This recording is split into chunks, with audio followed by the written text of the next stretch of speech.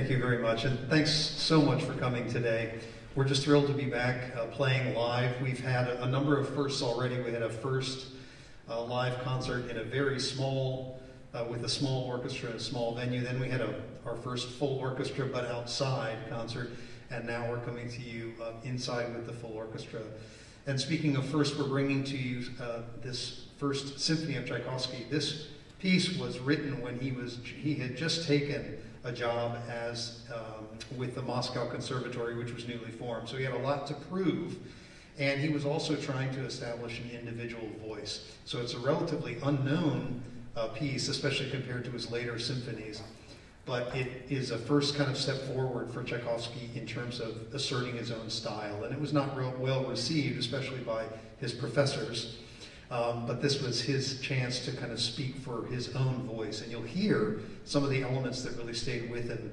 Uh, he called this a sin of his youth, uh, and by which he meant that he still esteemed and loved this piece, although it took a lot out of him. He, was, he spent years uh, revi- re- re- revising it, never quite pleased, but um, came to see it as, a, as his first important artistic statement. You can hear, of course, the beautiful melodies um, especially, for example, the, the trio in the, the scherzo, which is a waltz, uh, kind of almost a pre a premonition of the Waltz of the Flowers, uh, which you'll hear later on today. Uh, you'll also hear his um, imaginative orchestration and his use of folk tunes, and that's actually something that goes through all the music that you'll hear today, uh, sort of Russian folk traditions, um, uh, especially involving winter and Christmas. So I hope you enjoy Tchaikovsky's First Symphony.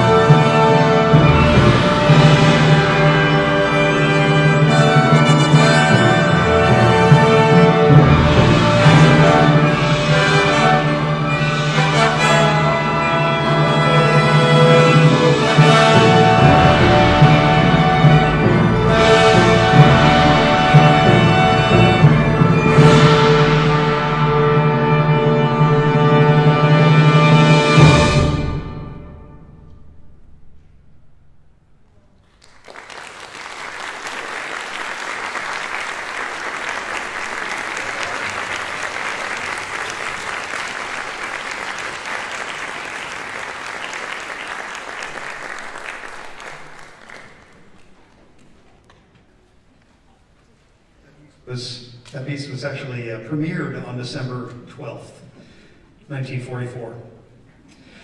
And it was actually intended as a sort of friendship gesture uh, to the Soviet people, specifically the Russian people.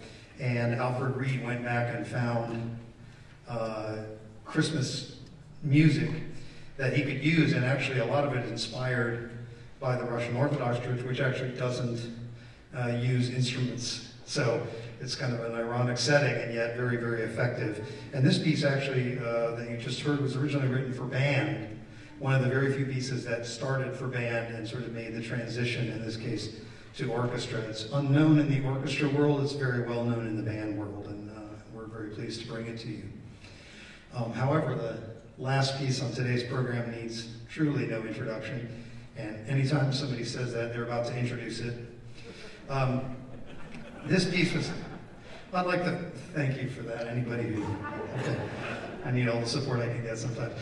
Um, the, uh, unlike that first symphony that you heard, which was really the, one of the first artistic statements of Tchaikovsky, the, the Nutcracker came right at the end of his career. And I think one of the things that makes it so strong is that he was um, he was restricted in his ability to set the pieces because they had to be danceable and so forth. They had to be not too long, not too short.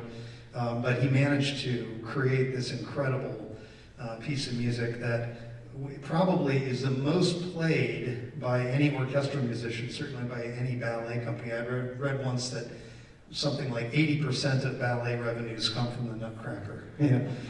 Um, but so many of the musicians have played it, but you know, it's when we rehearse it, it never gets easier. It's a very, very tricky piece, full of so many beautiful moments. Uh, this is one of those pieces that most of us, I know personally, I knew this piece inside out before I could read a note of music, uh, just by listening to it.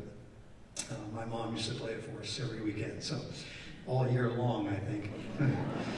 um, anyway, uh, the, the, again, the piece really needs no introduction, but the beautiful colors uh, that, that he brings into it specifically, uh, I'll mention the celesta, which you'll hear in the Dance of the Sugar Plum Fairy. It's one of the earliest uses of that instrument, and it's hard to imagine Christmas without it. And actually, you know, I mentioned in rehearsal, that, you know, whether it's the harp or the bass clarinet or the or the tambourine, or there's so many colors in the piece that just kind of mean Christmas to me specifically. So thanks again for joining us today. And here is the suite from the Nutcracker.